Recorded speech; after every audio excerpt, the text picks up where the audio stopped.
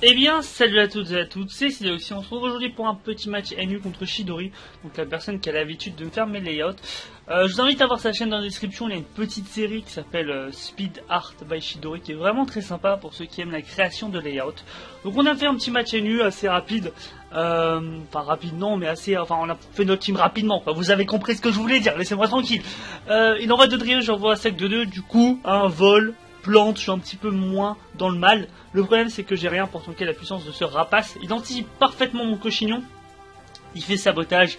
Le problème c'est que Cochignon sans Evolurock a énormément de puissance comme la plupart des utilisateurs d'Evolurock. Le sabotage est très intéressant à nu parce qu'on a beaucoup de Pokémon qui ne sont pas à leur stade final de l'évolution. Je fais chute là, j'avais anticipé le switch mais euh, pas trop, enfin je savais pas trop ce qu'il allait faire. Du coup, euh, il anticipe bien, il envoie Wellord un petit peu risqué de sa part parce que j'aurais pu faire séisme. Dans tous les cas, alors tank parce qu'il a une très très très bonne, un très bon build, donc une, capacité à tanker des, attaques assez impressionnantes. J'envoie Luminéon. Bon, Luminéon, Pokémon pas le plus connu du monde, du coup je me doutais qu'il n'avait pas anticipé le Lavabo, donc Lavabo qui est une capacité spéciale qui vous immunise aux attaques haut. À chaque fois que vous recevez une attaque de ce type, vous gagnez un boost d'un en attaque spéciale. Du coup, c'est comme si j'étais Choice Peck gros dégâts sur Regice. Alors très très très très gros dégâts sur Regice. Un des dégâts les plus impressionnants du monde. Euh, voilà, bon, Regice qui était sûrement veste de combat à ce niveau-là du match. Du coup, c'était pas si étonnant que ça. Euh, il fait pouvoir antique pour essayer d'avoir le boost, hein, parce que Shito est un mec qui joue avec les boosts. Le problème, c'est qu'il l'obtient pas, donc il est déçu, hein, il est très déçu même. Euh, je renvoie Porzei, et là, euh, bah, à la base, je le sacrifiais, il a décidé de switcher, pourquoi pas. Ça me permet de placer les pièges de rock qui sont assez sympathiques pour sa team parce qu'il a Dodrio, Regice et euh, Papinox. Donc euh, j'étais assez content de moi pour le coup. Euh, voilà, donc il décide de me faire faux je vais pas très bien comprendre. Il va pas attaquer tout de suite. Parce que moi clairement je l'envoie à la mort, notre ami Porzei. Je refais avec la glace histoire de faire des dégâts, mais avec la brûlure, on en fait deux, voire un, c'est plutôt nul. Là il me fait provoque et je me suis dit peut-être qu'il a que tonnerre pour taper, hein. peut-être qu'il a balance, provoque, feu follet, tonnerre. Bon, c'est vrai qu'à ce niveau-là du match, j'avais pas très bien compris. Il décide de switcher. Là, bien sûr, je vais faire un dernier avec la glace. Il décide de renvoyer son ami Wallord. Euh, Wallord qui me fait vraiment peur. Honnêtement, c'est un Pokémon qui me fait peur. Heureusement qu'avec Piège de Rock, plus. Euh, pas plus la glace, mais avec les dégâts qu'il avait pris euh, avec Chute Glace tout à l'heure, il est à peu près à 75% de sa vie, je dirais. Du coup, Gicledo fait encore un petit peu moins de dégâts et c'est vraiment le but pour tuer ce Poké. Alors là, j'envoie Wigglypuff, gros doudou, truc que vous avez jamais vu en combat stratégique. Je joue full défense, full attaque SP. Euh, c'est ça, full défense, full attaque SP avec la veste de combat. Alors pourquoi je mets pas d'investissement en PV tout simplement parce qu'il a une base stat PV extrêmement grande. Je crois qu'il a à peu près 120, 120 de base stat. c'est vraiment un gros truc, quoi. C'est pas, comme le Vénard, bien sûr, mais c'est euh, le Vénard du NU. Voilà, un petit peu comme Tiravi. Mais vraiment très intéressant. Du coup, il fait frustration et là, il est déçu. Alors, je sais pas s'il a pas mis, enfin, si le bonheur est à zéro, du coup, et que frustration n'est pas au maximum de sa puissance, mais il fait pas ses dégâts. Du coup, derrière, je peux le tuer avec mes tranquillement. Euh, il décide d'enlever Bastiodon et Bastiodon c'était le Pokémon qui embêtait plus ma team c'est vraiment tu sais le gros tas le gros stall chiant qui ne sert à rien à part faire toxique abri et piège de roc. Et ben ça c'est ça c'est Bastiodon euh, donc je fais Neuder donc euh, voilà Neuder qui va pas faire tant de dégâts que ça. Ça m'a permis quand même de tuer Wallord parce que c'est un gros tas aussi hein, la famille des gros tas. Le problème c'est que Bastiodon a beaucoup plus de défense P. Beaucoup beaucoup plus de défense P. J'essaie de faire déflagration c'est vrai que j'ai rien pour le toucher efficacement euh, il en profite pour placer les pièges de rock, donc il a vraiment tout gagné de ce côté-là. Et euh, bah, du coup, moi, euh, bon, vu l'avantage, c'est que Bastiodon n'a pas de, n'a pas soin, tu vois, parce que Bastiodon soin, ce sera un petit peu cancer. Bah, je décide de spam les déflagrations, puisque chaque dégât pris, ce sera des dégâts un petit peu sur le long terme. Le seul moyen de régénérer sa vie, c'est avec les restes. Du coup, on est bien, il décide de faire toxique, bien sûr, hein, parce que c'est un, move assez, euh, assez rare hein, sur les Pokémon de défense. Je l'ai jamais vu personnellement. Ah, je crois qu'il y a même une combinaison, euh, je ne suis plus trop sûr, mais c'est avec Abri en fait. Comme ça, le mec ne veut pas te toucher, tu récupères tes dégâts et tu fais plus de dégâts. Ah bah c'est ce que Shido fait, bizarrement. Euh, de toute façon, c'était le seul moyen, enfin c'était le moyen le plus safe, comme ça il perdait pas de PV, il en gagnait même, et surtout il me tuait, donc il avait toutes les raisons du monde de faire Abri. On a vu Reflet Magique tout à l'heure. Pour ceux qui ne connaissent pas cette attaque, Reflet Magique, ça agit un petit peu comme le talent Miroir Magique, vous savez, de Mentali et de Xatu. En gros, si vous faites euh, Piège de Roc et qui fait Miroir Magique, ça les renvoie. Alors, Miroir Magique a une priorité de 4, mais euh, voilà, elle dure qu'un tour. Hein. C'est pas genre tu fais Miroir Magique, t'es t'es immunisé pendant tout le temps du match. Non, c'est un seul tour, mais ça peut être sympa au début où les adversaires ont tendance à beaucoup spammer euh, piège rock, du coup vont envoyer piège rock dans la tête, et on est content. Euh, du coup là je fais surf ou critique qui va pas si utile que ça, euh, tout simplement parce qu'il a la buée noire. Euh, boue noire, je sais plus si c'est boue noire ou buée noire. On va regarder, je crois que c'est boue noire. Voilà, la boue noire. La boue noire euh, Boue noire qui agit comme les restes en fait, mais uniquement sur les Pokémon type poison. C'est pour ça que c'est très intéressant de le mettre sur un Pokémon de type poison à la place des restes.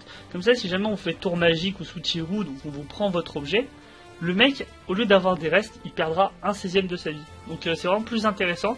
Et si jamais vous avez rien pour prendre un tour magique que vous allez anticiper, autant affaiblir le Pokémon en face au maximum en lui donnant une buée noire alors qu'il n'est pas de type euh, une boue noire, excusez-moi, alors qu'il n'est pas de type poison. Je pense que ça va être très sympa. Là, j'envoie mon Avaltou, c'était le Pokémon que je testais aussi. Alors, j'ai fait un set complètement random. Je joue full PV, full attaque SP, avec glace, éruptation, stockage et repos avec la baie marron. Un set complètement. Euh, je l'ai jamais testé, enfin, j'ai jamais eu l'occasion de ce match, c'est vraiment dommage. Mais je vais essayer euh, de le tester un minimum pour vous le présenter. C'est vrai que ça fait que j'essaye d'utiliser éruptation, mais que ça ne marche pas, donc on est déçu. Euh, donc j'essaie de faire euh, histoire de faire quelques dégâts. C'est vrai qu'il y a quand même une grosse bouche, hein, une très très grosse bouche. On comprend pourquoi avale tout. Hein, et c'est pour ça que j'ai appelé Swagelot parce que ça fait enfin voilà vous l'avez compris je suis en jeu de mots c'est pas très grave. Vous m'aimez quand même n'est-ce pas? Bref donc il renvoie son wall son truc chiant hein, wall of China tout ça. Euh, je décide d'envoyer mon ami Winnie parce que je suis trop fort en surnom encore une fois. Euh, Linguini qui a Gigasang et pouvoir antique avec euh, poudre de dos et euh, lichide. Pas de poudre de dos c'est vraiment dommage il rate toxique donc ça c'est bien fait pour lui. Parce que voilà il y a une différence entre rater et rater tu vois quand c'est moi qui rate, c'est triste. Quand c'est lui qui rate, voilà, tout le monde raisonne comme ça, bien sûr. Euh, il décide de switcher sur son JCG, donc c'était le mien à la base, cloné bâtard, bien sûr, hein, parce que je donne des pokés. Bon, bref, il fait poudre d'eau sur lui. Alors, personnellement, j'aurais plus sacrifié euh, Bastiodon au début, enfin à ce moment-là du match, parce que je trouve que Papinox, au contraire, peut faire plus de dégâts avec Bourdon sur Linguini, et surtout, il a peut-être aussi toxique, etc. Et atterrissage, donc je trouvais que Bastiodon était un petit peu un choix. euh, moins intéressant pour le match du coup j'aurais été peut-être plus amené à le, à le sacrifier par la poudre de dos. J'essaie de faire pouvoir anti ça tombe sur son Regice pourquoi pas j'obtiens pas la boost parce que voilà c'est un match où on va tous spam pouvoir anti mais personne va avoir la boost. Je spoil. Euh, j'envoie mon Pyrotos donc Lumidéon à la base pour tanker le laser glace il décide de faire pouvoir anti je euh, pour, euh, pour faire pouvoir anti il n'a pas anticipé quelque chose. En tous les cas j'allais pas rester avec avec mon poké. Euh, je fais anti-brume, mais en fait non, parce qu'anti-brume avait été fait il y a 4 tours et rien n'avait changé. Du coup, anti-brume n'a pas marché. En fait, je croyais que Corsin bloquait anti-brume. Alors j'étais à fond, j'étais en mode oh mon dieu, counter team, tout ça. Alors pas du tout en fait. Corsin va bloquer la baisse d'esquive. Vous savez quand vous faites anti-brume, il y a une baisse. C'est pour ça que Bicharp est très intéressant, notre ami Scalproie. En fait, Corsin va bloquer la baisse de statut, mais il ne va pas bloquer l'élimination des pièges d'or, Pico, etc. C'est juste pour clarifier les choses. Euh, rien à ma connaissance, ne bloque anti-brume, et c'est pour ça que c'est aussi intéressant. Donc euh, bah, je décide de spammer les surfs, moi je quand même à peu près à midlife. Critique il, spam pouvoir antique depuis tout à l'heure, bon ça ne sert à rien puisqu'il aura pas la boost, il est très déçu. C'est pas grave, hein, il en faut pour tout le monde, tu vois. C'est pas grave, Chito, calme-toi.